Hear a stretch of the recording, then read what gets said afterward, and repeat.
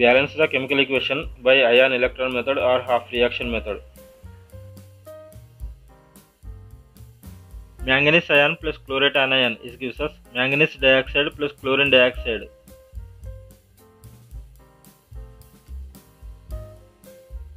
Figure the reducing and oxidizing agents by the rules of assigning oxidation numbers. In ion electron method, one reaction is divided into two reactions and then they are balanced and then they are added together.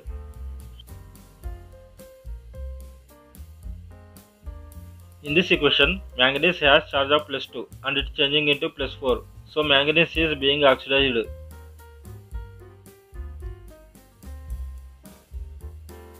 The chlorine has charge of plus 5 and it is changing into plus 4. So chlorine is being reduced. Now you can balance the number of atoms in the two half reactions. In the oxidation half reaction, to balance the oxygen atoms, you can produce water molecules.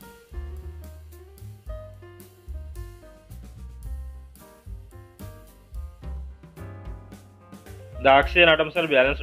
Now we need to balance the hydrogen atoms. To do this, you can produce H plus ions.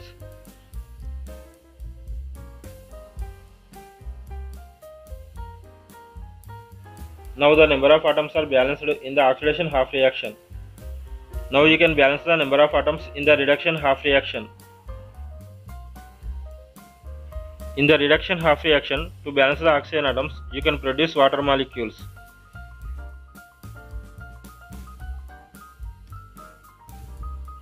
The oxygen atoms are balanced.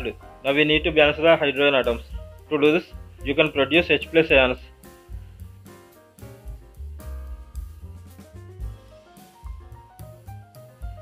Now the number of atoms are balanced in the reduction half reaction. For a redox reaction, the addition of charges should be equal on both sides. So try it in the oxidation half reaction.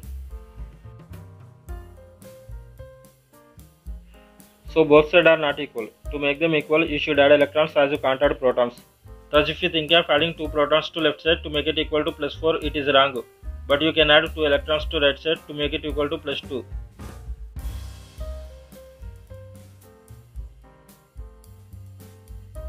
Now the addition of charges are equal in the oxidation half reaction. Now you can equal the addition of charges in the reduction half reaction.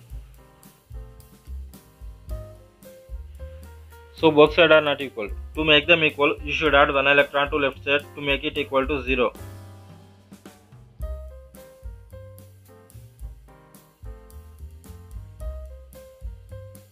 Now the addition of charges are equal in the reduction half reaction. Make electron gain equivalent to the electron lost. The electrons lost in the oxidation half reaction must be equal to the electrons gained in the reduction half reaction.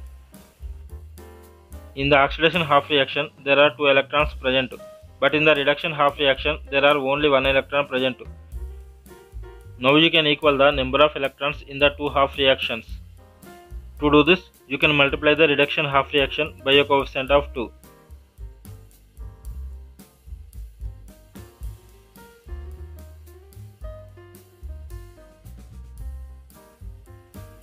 Now you can add the both reactions.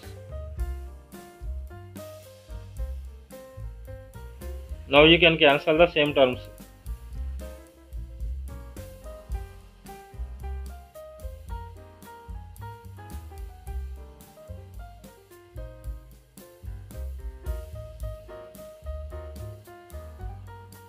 The equation is now balanced.